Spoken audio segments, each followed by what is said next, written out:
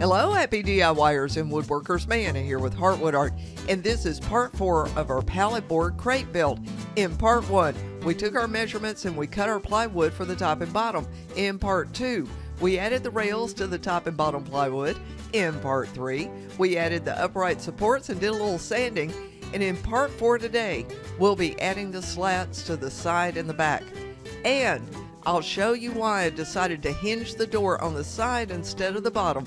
So let's get started.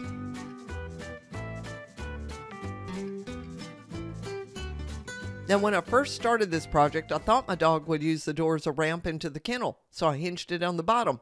But here you can see why I had to change my mind about that. Uh, he was uh, a rescue dog, and I think he was created before I got him, and so this is not really that big of a stretch uh, for him. You want to go back in there? Would you go back in there for me? Come on. Come on.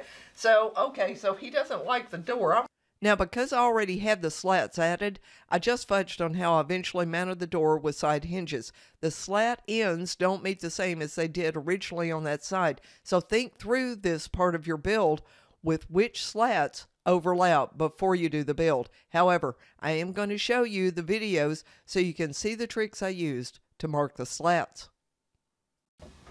Okay, here's where things get a little tricky. As you can see, I've got the stretchers on the back for it, and this is old pallet wood, so none of it's going to be exactly the same. You know, with your spacing, I gave myself two inches at the top, two inches at the bottom, and split it in the middle. So it gets a little tricky because we got to do our side and match to our door.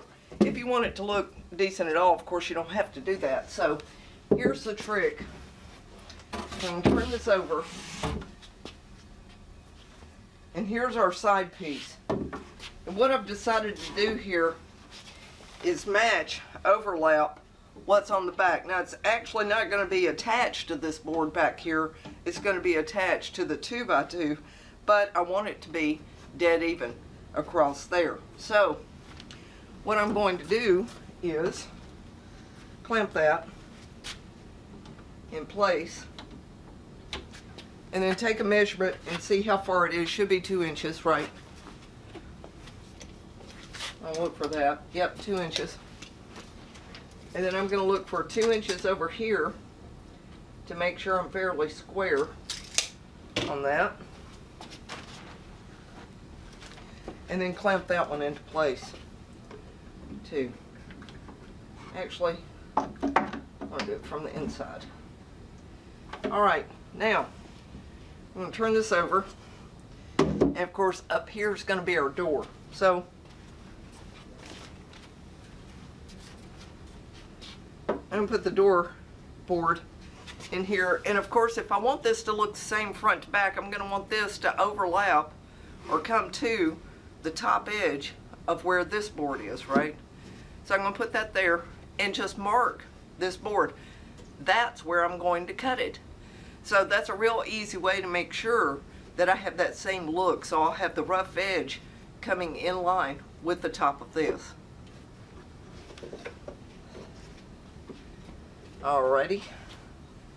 Get my pencil out. It's kind of fun working without a tape measure on this rough wood. That's just about the way you have to do it. Alright, we'll get to cutting and put this up. Now once the slats were on, it was time to build the door. This next video is with the hinges on the bottom, and I'm so sorry it's out of focus, but it will show you the tricks I used to match the slat spacing.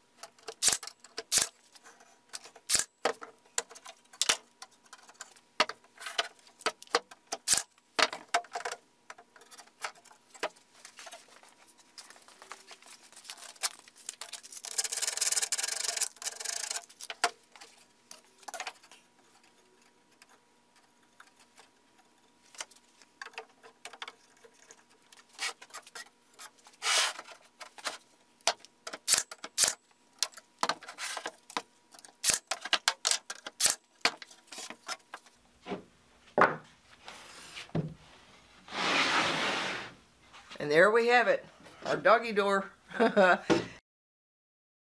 Here's a close-up of the hinges after I moved them to the side. So, not a perfect fit, but it will do for a rustic crate. And here's more details on how I did this, plus how I plan to mount the latch. Well, okay, we put it to the doggy test, and he wanted nothing to do with stepping over that door, even bonked his head up here trying to jump over it, right?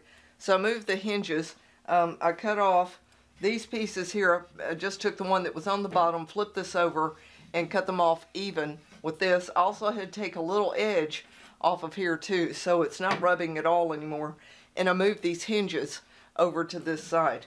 And so it opens to the side down, which is the way it probably should have been built in the first place. But that's the thing about thinking up stuff in your head that you don't have any plans for, and you make it, you learn stuff, right? So that's going to work, and he's going to be able to crawl right in there with no issues. And then that's also going to make my latch that I got work just fine because now I can lay it across one side. This is the actual latch on the inside of that and it's going to make my corner latch work a whole lot better uh, for that too to make sure that he can't just push on this door because it's so easy to open right now too. So I also put it up on blocks. They're about two inches. I got two inch wheels which are actually two and a half inches tall. Put it on three inch blocks and he jumped right in there no problem. He just walked right in. So I am going to put this thing on wheels and reinforce the bottom of it and we'll get going and be finished on it. Be sure to look above or below this video for part 5 where we add the casters. And if you're enjoying this build, please subscribe to this YouTube channel and come on over and visit me at heartwoodart.com for more easy builds and I'll see you in the shop.